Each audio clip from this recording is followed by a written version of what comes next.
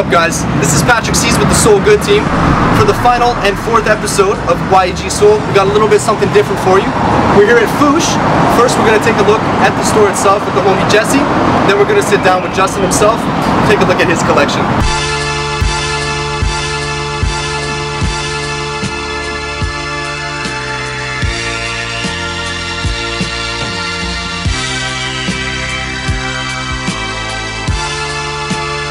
Our in-house brand in the wall section there.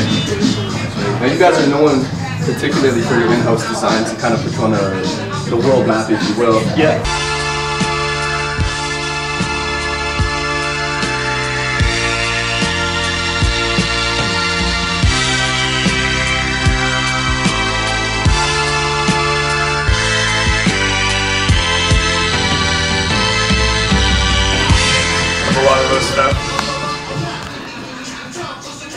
Awesome. And then you said you got the collectibles as well. Those are up front.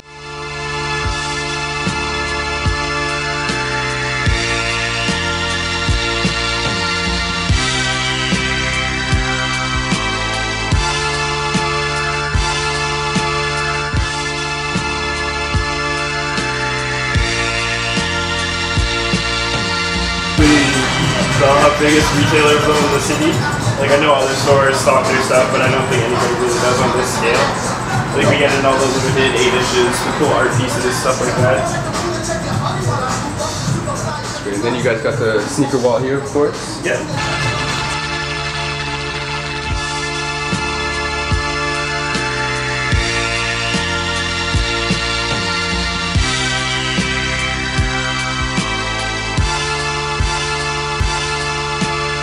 Thanks for showing us around the shop. And uh, right now we're going to take it back to Ke and Jim. They're going to be in the back talking with Justin about his collection. Yo, it's your boy Jim Duggan coming to you from Sole Good. We got Ke here, we got Patrick behind the camera, and we're gonna go check out Justin Foosh's collection. So come with us.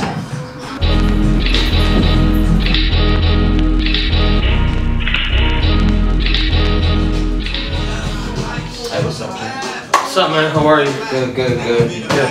What's up? Uh, why don't you just give us a quick run through of what you got here, what you might be bringing? I got a bunch of stuff here. I got a lot of old school SBs, some Adidas, some old Jordans, but mostly SBs. And then over here, I just got like just some Air Maxes and some stabs and stuff like that.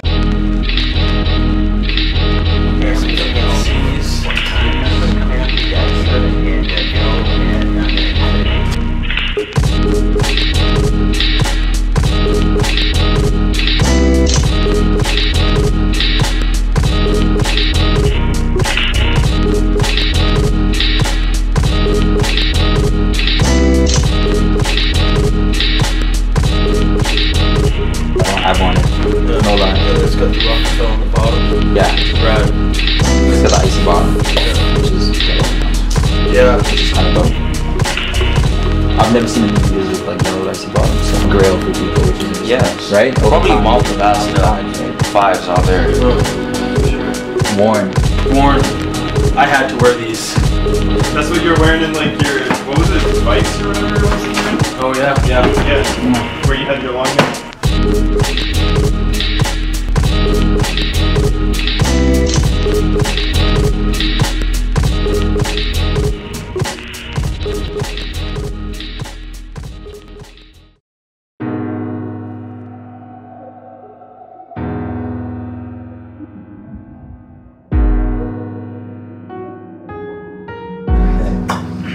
Standing here with Justin Foosh. He's the co-owner of Foosh, a cornerstone of Edmonton's streetwear and uh, hip hop community. And we're just going to take another quick look at some of his more beloved pairs and maybe get a story behind them or why they're important to him. Cool. Well, let's start with um, these ones here. They're called like, well, they're called the Jedi's. Probably like one of my first pairs of SBs that I bought. It's got the, you know, fluorescent laces, classic brown and green colorway, gum sole. I think this was like 95, uh, sorry, 2005. They're really built different. Yeah, more solid. Like they're honestly, different. Yeah, the really. The material on this. yeah, and even the way the sole breaks off to the gum here. These ones here. Oh, these ones here, the Bisons. Again, sucker for suede. Yeah, me, Me too. The Me red and the browns, you know, the gum again. Yeah, the suede on this is super nice. Next up, the sabotages. Again, beautiful colorway, good construction, got the lace protection. Just something totally different back in the day. These are beautiful. Like a lot of my collection, like from the SB stuff, is actually from like 2000 to 2000. Uh, sorry, 2005 to 2010. Um, oh, one of my faves, yeah. Dunkle, Yes. is what they call it. It's, you know what? There's no words. So, you know, just, there's no words. They don't make shoes like this. This is some other stuff. Like Futura, come on, you know Yes. what I mean? Like they did this um, back in the day, lunar and then lunar eclipse. So they had this shoe and then they flipped it. I think I have The other color? lunar black. So yeah, right, right there. So this was the flip. So it actually came as a package. Lunar and uh, yeah, lunar eclipse or I can't remember what the hell they're called, but yeah, that was the flip. This little these bespoke little stone parts on these are such great quality. Yeah. I actually had the flip of the ray gun too, but I think it's sold. Again, clear, patented, suede, synthetic. I don't know. So I like this. I come from the era where like when this kind of work into SBs and, and uh, AF1s and they just had all these Different materials. I don't know. different like- now it's all poses and different. Yeah. You know, like back then it was like more about the artist and just something pretty neat. You know what I mean? Like, Yeah, it's a design thing. Like let someone design it. A lot Yeah. like uh, collectible toys or something something like that. Exactly. Exactly. How's head? Yeah. This is the first one they did, right? Yeah, 2005. Like this, like this one's pretty rad. Like it's got the quilted lining on the inside, Yes. the um, insole stamped again. You know, it's got the crazy, crazy, crazy insole. I don't know if you can see that, but yeah. Got them Sure. both. Well, let's change the game. This, 2006. yeah, this Yeah. changed it right here. The tiffs. This is my first time just seeing this close in person. Yeah. Wow. Eh? And then the newly released highs. Side by side, we can see the difference on materials. Yeah. For sure.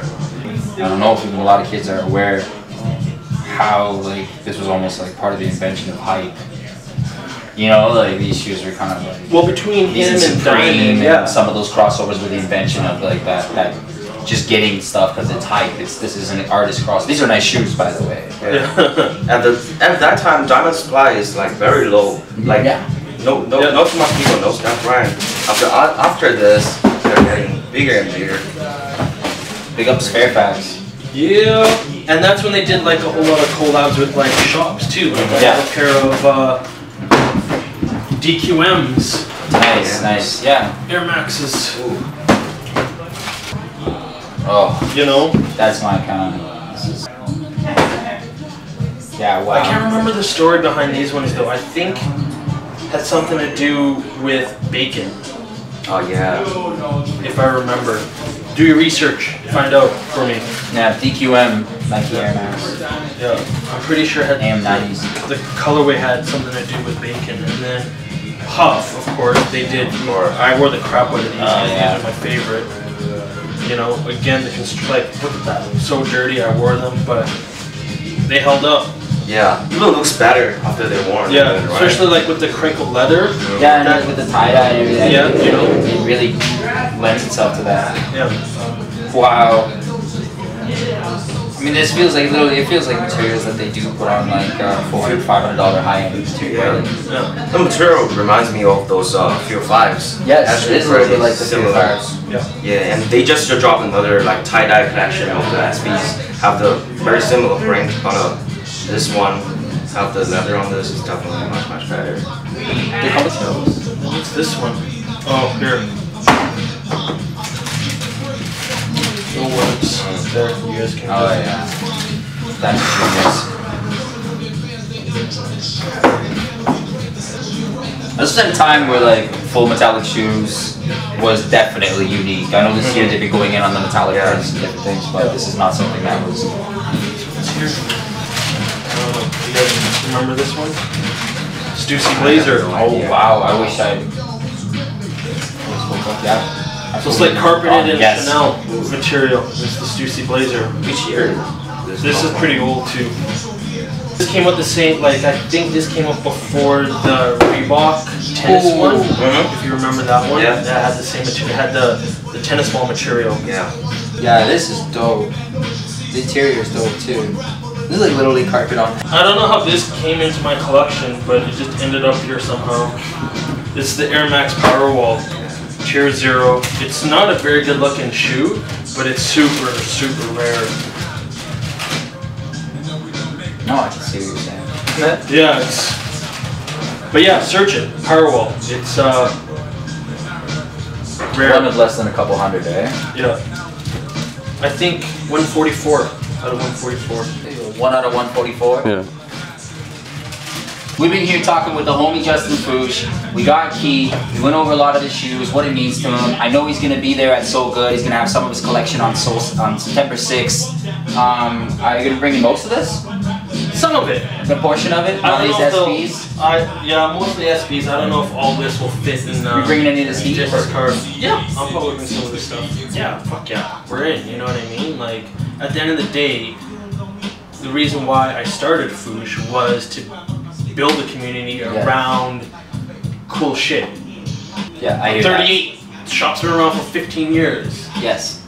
Been doing this for a long time, and it's nice to see sneaker collecting coming back around again. It's nice to educate. It's nice to and just be a part of the community. Like you guys can come in. We don't have to. You guys don't have to buy anything. Just come and hang out. Yeah, shoot the shit. Yeah. Yeah. That's what we're about. You know what I mean? Like Yeah. yeah, it's just it is what it is, and it's cool. Like when new guys like Jesse come, they come around, they educate me now on like what is cool or what's hot, new brand. Yeah. And like, and we ain't going anywhere. So, Yes. you know, we're always gonna carry cool sneakers. We're always gonna carry cool clothes. And if you just want to come down and hang out and chit chat, let's do it. We should shoot the shit with these guys. Yeah, I hear The that. Can I Purpose. swear or no?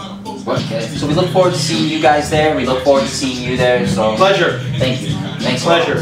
Thanks, man. Bring some cash. Word. From me and everybody at the Sole Good team, thanks for tuning in to episode 4 and season 1 of YEG Sole. We will have a second season coming up for you guys soon. Until then, we'll see you at Sole Good. Peace.